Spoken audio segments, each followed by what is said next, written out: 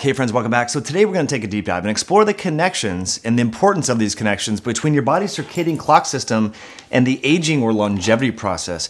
We hear so much about fasting and protein and the insulin IGF-1 axis and how, you know, methionine or, or amino acid or protein restriction is linked with longevity, but we don't often hear about how we can fine tune our body's biologic rhythms and the circadian clock system, and how all of these nutrient sensing pathways, from the insulin IGF 1 axis to mTOR, AMPK, PGC1 alpha, sirtuins, all of these that we're going to talk about in today's video in more depth, and I'll promise to slow down and not you know go too quick with these.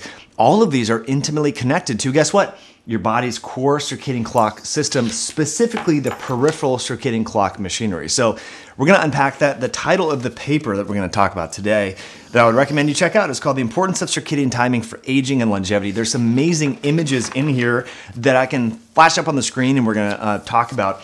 But first, I do want to thank this video's show sponsor, Skillshare.com. Hands down, the best resource on the internet to learn new skills if you're a business owner, an entrepreneur, a creative, or an aspiring creative. If you want to learn how to make YouTube videos, how to make more engaging content for your social media, for your business, or for a brand that you work for, Skillshare.com is the resource that you need to check out. I'm constantly diving in here because I want to make more valuable content to help people like you learn health, science, and related information. So I want to learn how to make my own ebooks. And as I've told you before, I learned how to start editing videos and making videos on Skillshare.com back in 2012, friends. I've been using it to make video thumbnails for um, my videos and also on Instagram. But one of the courses that I've been diving into, and this trainer, by the way, Daniel Scott, is fantastic. You have to check out his work. Adobe InDesign is how you can learn how to make your own ebooks, cheat sheets, guides. This is the course for you. So I've been diving into this. Daniel Scott is phenomenal. He has a bunch of great courses that you can check out. So, the first 1,000 people that take advantage of the free offer in the link below can get a free trial membership over at Skillshare.com. So I, I, would suggest taking advantage of it. And one of the other courses that I just started diving into about a few weeks ago is learning how to use Piktochart. Piktochart is a quick online tool where you can make infographics that are really engaging. So this course is really, really neat. I would definitely check this out as well. And again, you can get a free trial by clicking the link below. Where the first 1,000 people will get access to that free trial. After that, it's under $10 a month. So let's dive into the details of your body's circadian clock system and hone in on these key nutrient sensing pathways that are linked with longevity. Now, for a big picture, high level discussion of the circadian clock system, and this took me a while to sort of understand and uh, characterize is the, the sort of bifurcation between your central circadian clock system that is governed by the suprachiasmatic nucleus in your hypothalamus. Okay, so this is the central system that mostly is sort of regulated by light and dark signals. So we'll put, you know, light and dark. Okay, so this is why you know, using a TV in your bedroom or being on your iPhone in your bedroom or not going outside first thing in the morning for a walk or a meditation or breath work is counterproductive to affecting and impacting your body's circadian clock system. So you must treat light and dark signals, you know, prioritize this, make this a, a priority in your life. However, the body always has redundancy. This is a theme we've been talking about on this channel and on our videos when we talked about the immune system. For example, your body makes antibodies, but you have T cell immunity too. So there's redundancies if the antibodies decline, right?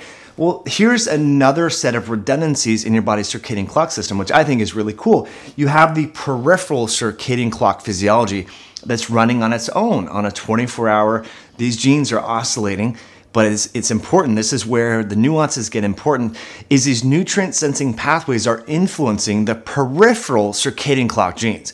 So this is important. Again, let's bifurcate this a little bit. We have the the central circadian clock system that is that is impacted mostly by the natural light cycles throughout the day, the sun and then the moon, and that influences melatonin and cortisol. But we have these peripheral systems, and this is where meal timing comes in, and wait for it, wait for it, the longevity nutrient sensing pathways. So let's talk about uh, let's talk about first PGC1 alpha. So PGC1 alpha is uh, it does affect the circadian clock genes, the core clock genes. So this is again a peripheral influence on circadian biology. So if you don't exercise regularly, if you don't walk, if you don't compress your feeding window, and you can't sleep or your hormones are all imbalanced, or you know, ladies, your menstrual cycles are imbalanced, men, you're not waking up with an erection, Well, you got to consider exercise because not only does it affect the cardiovascular endothelial tissue, not only does it affect post meal blood sugar levels and insulin sensitivity and leptin sensitivity, but exercise affects PGC1 alpha. PGC1 alpha, okay? So PGC1 alpha affects the circadian rhythm, the core clock genes. So this is affecting that. So if you're not getting PGC1 alpha signaling from moving your muscles, from exercising, from fasting, or from different nutrients, for example, alpha lipoic acid, berberine might affect this, different things. Guess what? You might then start to impact your body's circadian rhythms that affect longevity. Now, let's talk about another one. Let's talk about NAD and sirtuins, okay?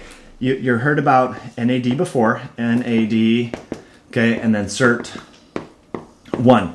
Okay, so NAD and SIRT1 affect the core uh, proteins, the transcriptional repressor, and so forth. There's the CRY and then the PER gene, and these are influenced by by these nutrient sensing uh, enzymes and so forth. So the other key now, a lot of people. Let me just pause. Okay, this is why if people, if you're if you're getting bad sleep, okay, but you're paying top dollar for NAD supplements it's kind of a wash, right? You, you, if you're not getting good sleep and you're not entraining your body's peripheral circadian clock systems, don't expect miracles from NAD supplements, right? Now, possibly NAD supplements could be utilized to support your body's circadian clock system, or for people that uh, you know work the night shift and things like that. So NR or NAD precursors might be helpful. I'm not a huge fan of these because they're super expensive and you still need to take your vitamin D. You still, in my opinion, need to take electrolytes. You still need to take some things periodically to optimize your sleep. You might want to take a probiotic every now and again. So there's still some things that you should take. And then once you start with the NAD supplement, you're already at $100 a month. So in my opinion, there's other low hanging fruit there. But let's get into AMPK, PK, and then also we're going to talk about mTOR. Uh, so guess what? Both of these pathways now, neither one of these are good or bad, but they oscillate on a circadian rhythm basis, rhythmically, and it seems that you know they do influence and have feedback. All of these, so draw a bracket. All of these have feedback into the peripheral circadian clock physiology in a bidirectional system. So this is this is the crux of this whole video. Okay, is that if you're not getting the proper sort of circadian biology and synthesis of this from how you're feeding and fasting and when you're exercising and so on, right? If you're snacking all the time, you're getting up at two in the morning having cookies, you're not exercising, don't, don't be surprised if one, you age faster than you should because your, your biologic age is, is accelerated compared to your chronologic age. We talked about that with my DNA. We talked about epigenetic age before. So that's number one. Number two, it could then start to negatively impact your body's circadian rhythm. So you might notice indigestion. You might notice you're sleepy during the day when you should be awake. You might notice that when you wake up, you're lethar- you have lethargy, you're lethargic because cortisol, you don't have that cortisol awakening response. You might notice that before bed, all of a sudden you're awake and you're like, let's go. Why am I having this second wind right before bed when you should be unwinding? Well, like I said, you know, this is a bidirectional system. These nutrient sensing pathways are influencing your peripheral circadian clock system, and the peripheral circadian clock system is influencing these key longevity pathways. So when one is out of, out of balance, the other is going to be out of balance as well. Now, you might have seen people in your life who stay up late. Maybe they're a trader, maybe they're a gamer, and they look, their skin looks like like crap. They look like they're getting more gray hair, they're getting overweight um, they look like they're aging faster. This could be one mechanism because their circadian clock system is screwed up, and then these nutrient sensing enzymes that are key for longevity are getting out of balance. So that's what the data has shown uh, up to now. Now, the insulin IGF 1 axis, it's probably influenced by the peripheral circadian clock system. I don't know why I had a hard time saying that. It's probably influenced by the peripheral circadian clock system, but we don't know all the nuances of that at this particular time. However, uh, the data is pretty clear on how PGC1 alpha that, that also initiates mitochondrial biogenesis, how that affects the peripheral circadian clock system, how NAD and sirtuins, and how AMPK and mTOR does uh, through these new mechanisms. And I'll put these put these uh, images here so you can see. But to me, I think this is really exciting um, because it it really reinforces sleep and meal timing. So that's what I want to finish off on because, uh, as you all know, I'm a huge fan of, and I'll put it right here, TRF, time restricted feeding. So time restricted feeding, in my opinion, is is the most effective form of intermittent fasting. So intermittent fasting just means like you're, you know, you're eating during a confined window and you're fasting during a confined window. But TRF takes into consideration the body's circadian rhythm and circadian clock system. And so this is why I like this. It's more consistent, it's more congruent with circadian rhythm physiology. And so I'm, I'm a fan of this. And so what's a good window? And, and let me pause. There was, there was a study in 2019, June of 2019. I shared it on Instagram.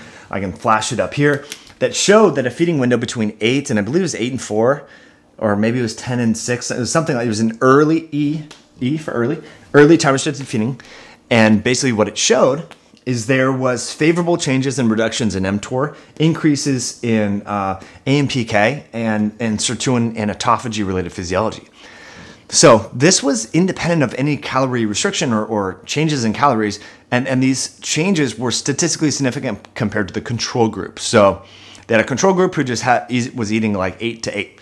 So that to me shows that because a lot of people it's hard to track your macros and track your calories and figure out you know where you can lose calories here and there and things like that it's much easier to just to say i'm going to eat during this time and stop eating during this time so i generally advise my clients to eat earlier in the day and start their fast earlier so participating in early time restricted feeding now along those lines this study this review paper i should say has reviewed many different uh, studies that have looked at and compared uh, time restricted feeding and feeding uh, time changes. Is that the way to uh, feeding window uh, uh, influences how that influences physiology? And several studies have actually found over the years, and we've we've highlighted them on this channel, that eating late.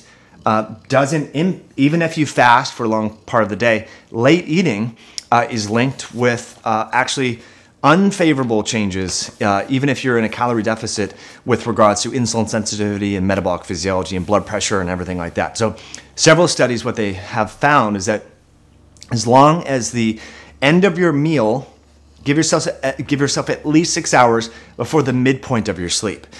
So, for example, if you go to bed at nine, you, and your midpoint of sleep, so say sleep, you know, nine to five, maybe it's like two in the morning, something like that. You at least want six hours between your last meal and the midpoint of sleep.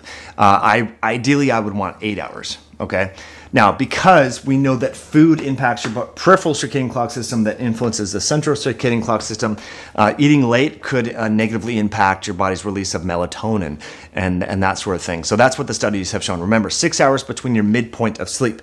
Uh, and and so just having a late night, you know, calories that just, you know, even if calorie balance is the same, studies have shown a late night snack that's just, it's not even high calorie, just a snack before bed led to negative changes when it comes to weight loss at the end of a study. So there, that was one study in women. So they had women stop stop feeding at six, and then they had another group of women have an isocaloric meal spread in two different meals, and then the snack uh, was linked with uh, weight gain. So this data is out there, friends. It's available, it's out there, and just want you to know about that. So, what's the summary? What's the take home? Well, number one, there's bidirectional crosstalk. This paper keeps falling. There's bidirectional crosstalk between the peripheral circadian clock system and many key nutrient sensing pathways that are intimately linked with longevity in the aging process. So, we should take care of both. We should be mindful of our body's circadian clock system and our body's circadian rhythms, and be mindful of regular exercise, consistent exercise, consistent meal timing, and feeding fasting windows, and so forth. Because this bidirectional crosstalk, and I'll draw an arrow here uh, to share that as well. Now we know that the central circadian clock system is very, uh, you know, influenced by light and dark changes. So this is why you know you want to make your room really dark. You want to get off screens two hours before bed. You want to expose your body, uh, you know, full body sun during the middle part of the day. Get that bright sun, and you want to expose your retina uh, to sun in the morning. So basically, that's where we're at. Uh, I would strongly recommend checking out that free offer from Skillshare. Uh, the links will be below, and also check out links to some of the articles that we talked about today because I want you to share this message because I see so many people cutting out carbs thinking that's that's it. I'm good. I cut out the carbs. That is one piece of the puzzle. We got to think about our circadian rhythms, circadian biology, nutrient sensing uh, enzymes, feeding fasting patterns. And instead of looking at just intermittent fasting as, you know, hey, I fasted for 12 hours, 16 hours, that's great. Okay, what was the time period? When did you stop eating? Okay, if you stop eating at 10 p.m. and you go to bed at 10:30, that's not you have room for improvement, my friends. So Hopefully you thought this was helpful, got a little out of it. I appreciate you tuning all the way to the end. Thanks for hitting that like button, and we'll catch you in a future video down the road. Bye now.